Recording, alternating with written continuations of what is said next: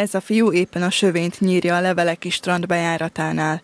Többek között ez a feladata azoknak a 16-24 év közötti fiataloknak, akik nyáron strandok közelében vállalnak diákmunkát. Leveleken erre fél évtizede van lehetőségük a fiataloknak. Öt évvel ezelőtt, mikor elkezdtük a diákmunkát szervezni leveleken, akkor igazán nem tudtuk, hogy miről van szó. Meghirdettük, és nagyon sok gyerek jelentkezett, körülbelül 40 gyereket kellett elhelyeznünk, és akkor mi nem kaptunk ekkora létszámot.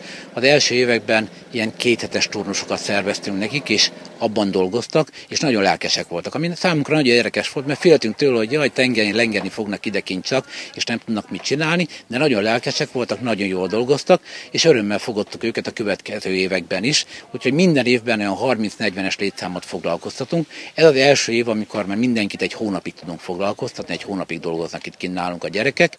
Júliusban 12 diák kapott lehetőséget, hogy részt vegyen a munkavilágában, augusztusban pedig további 20 fiatalt tudnak majd foglalkoztatni. A legfontosabb feladat, amiben a főállású munkavállalók segítségére vannak a gyerekek, az a strand területének rendben tartása. Azért jöttem ide, mert én is leveleki vagyok, és ugye közelebb volt ez hozzám, mint Nyíregyháza, vagy az adott terület. Azért jöttem igazából ide, mert ö, jó lehetőség, és minden évben fel van ajánlva nekünk levelekieknek is főként, hogy ide jöhessünk diákmunkára. A strand terület volt a, ugye megjelölve, hogy ide jöhetünk. Hat órába vagyunk, a fizetés pedig ilyen, hát igazából egész jó iskola kezdésnek. Egy hónapi tónus volt, a feladatunk pedig az volt, hogy így a strandterületet rendeztük, kászallagot osztottunk, meg segítettünk a kempingbe és a házakban az asszonyoknak, meg így a többi munkásnak is. Másodjára vagyok már itt a szezonban, úgymond tavaly itt kezdtem a úgymond pályafutásomat a strandon. Ö, teljesen azért jöttem ide másodjára, mert a barátaim, haverjaimmal teljesen jó kapcsolat ápoltam, nagyon aranyosak, nagyon kedvesek a segítőkészek, ugyebár az emberek, akik itt dolgoznak.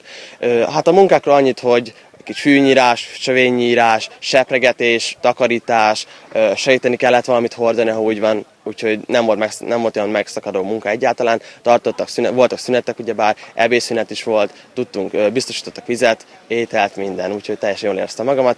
A fizetés nagy része valószínű motorvásárlásra fog költekezni. Nyári munkát azonban nem csak strandon lehet vállalni a fiataloknak. A múzeumoktól kezdve az irodai adminisztrációs állás lehetőségeken át a turizmusig számos más alternatíva közül választhatnak. Az önkormányzatoknak 6 órás foglalkoztatást tudunk adni, támogatni, ez a 6 órás foglalkoztatás viszont 100%-ban támogatott. A mezőgazdaságban, vendéglátásban, turizmusban érintett munkáltatóknak pedig 8 órás munka viszont létesítenek a diákokkal, és 75%-os támogatási intenzitást tudunk adni. Ez azt jelenti, hogy a bért és a július 1-től 17,5%-os szocónak a együttes összegének a 75%-át tudjuk a fiataloknak adni. Leveleken a strand kínálta munka lehetőség a legnépszerűbb, a település azonban a diák munka mellett más módon is meghatározó tevékenységet folytat a térségben közfoglalkoztatás területén is eh, kiemelkedően eh, teljesít eh, levelek település. Elég körbe menni és látja az ember, hogy ez szépen karbantartott a települése mellett a, a, az étkeztetésben megtermelik a, a zöldséget, gyümölcsöt, valamint állattartó telepet is működtethetnek igazán, igen magas színvonalon, és a diákmunka is egy olyan terület, ahol együtt dolgozunk. Úgy látjuk, hogy nagyon jól hasznosult itt is az a forrás, ami rendelkezésre állt. Ez 3 millió forint volt a megyei szinten rendelkezésre álló 640 millió forintos keretből. Ebből a vállalás szerint a pénzügyminisztérium határozata alapján 4100 fő foglalkoztatása volt az előírás. Azonban a nagy igényekre való tekintette kormányzati plusz források bevonásával és a kormányhivatal belső forrásainak átcsoportosításával ez a szám 4800-ra nőhetett.